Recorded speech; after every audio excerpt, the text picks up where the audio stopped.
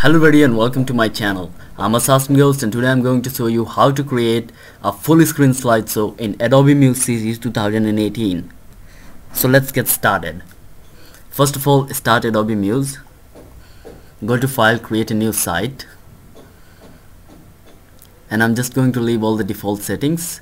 By the way I will love to change this maximum page width to 1366 and I'll press OK because this is my resolution. And I'll go to the home page.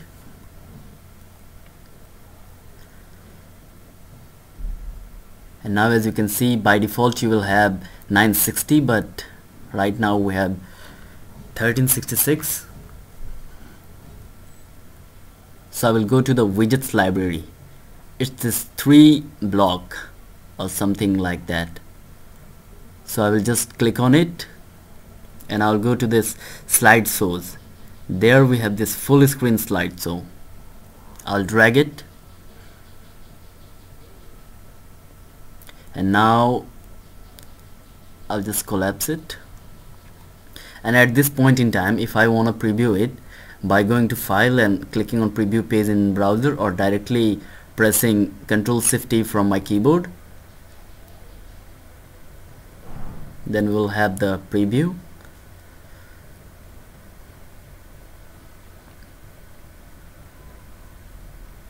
so now as you can see we have our full screen slideshow but it's definitely not what we wanna use.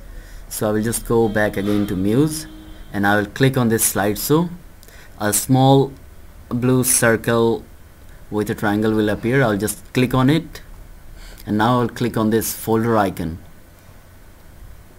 And I'll select some images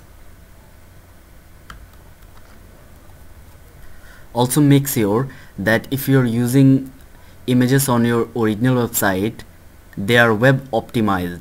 Because if they are not like in this case I'm running it offline so I'm using high-res photos which means if you use high-res photos or super high-res photos on your website then your website load time will be really extremely slow. So make sure that your images are web optimized so now I'm just going to remove this counter. Also I can just press delete or I will click here and go and in the path section I will just untick this counter.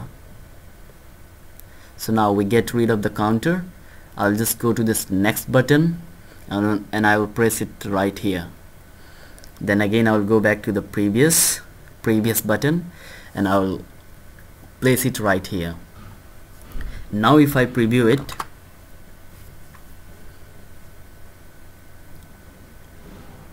then you can see we have the full screen slideshow with previous and next button. I would like to customize it a little bit. I'll just go and fill it with let's say a blue color. And I will go to the text and change the text color to white. And also I will change the font. Okay and I will change the font size a little less. And now I will preview it again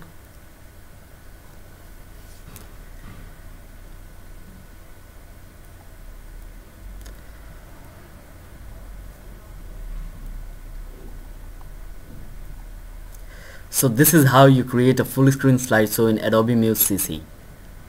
So if you like this video please leave a like and also subscribe to my channel. If you want to support me directly then the Patreon link will be in description. And as always thanks for watching.